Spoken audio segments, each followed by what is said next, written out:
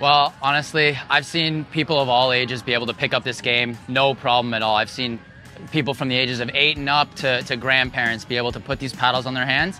And within five to 10 rallies, they're really able to just keep a good rally going with me. Something about the feeling of the paddles being on your hands, it just feels so natural and it, and it allows for really anyone to be able to pick up this game pretty easily. Another thing I really love about this game is that unlike ping pong, you, you've got both hands involved.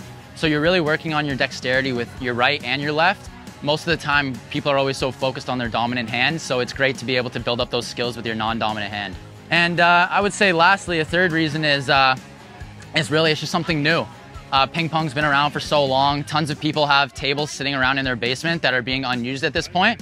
And uh, we really just want to spark, uh, spark up an interest again in, in using those tables that are just sitting dormant.